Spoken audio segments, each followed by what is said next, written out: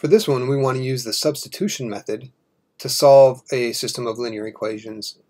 2x plus 4y equals 6 and 5x plus 10y equals 16. Let's do it. Usually when we want to use the substitution method, we look for a lone variable of some kind. But here we notice that there is no lone variable. All the variables have coefficients in front of them. So maybe we can divide both sides by something here to get a lone variable by itself. And I'm looking right here at this 2x. Right? If we divide both sides by 2, so I'm dividing every single term by 2, that gives us a new equation. x plus 2y equals 3. And down, we'll just leave this second equation alone down here. 5x plus 10y equals 16. And now we have a variable that we can substitute with, right? We have that lone variable, which is necessary for the substitution method. All right, so let's go ahead and solve for x up here to really get the variable by itself. I'm subtracting 2y from both sides here.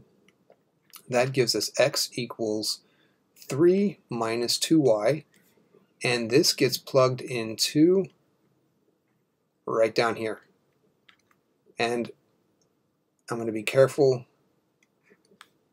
to put parentheses around it.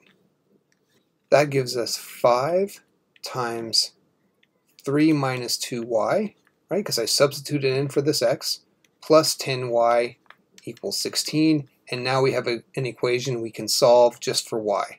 So let's do that. Let's distribute the 5 through. That gives 15 minus 10y plus 10y equals 16 interesting. The negative 10y and plus 10y cancel out, and we get 15 equals 16, which is blatantly false.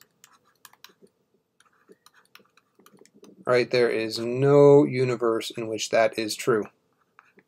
Maybe there is, and I just don't know about it, but certainly in our universe, this is false. Um, so, what does that mean? We didn't do anything wrong, everything's right, this when this happens, when you get some contradiction like this as the last line of your solution, that means that there is no solution. So that's the answer here. No solution. Okay, no solution, or you can simply draw the empty set. This is the set of solutions, right?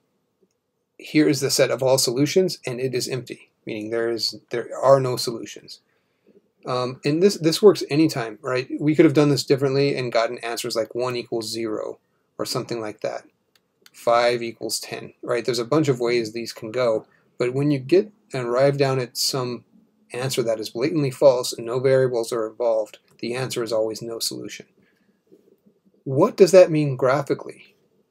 Now these, remember, these equations give lines, and indeed, the solution is where these lines cross, so it must be that these lines are parallel, right? Parallel. And we could solve this for y. I won't do it, but we could solve each of these equations for y and find the slope, and we would find that they would have the same slope, but different y-intercepts. Okay, so indeed they are two lines that are parallel.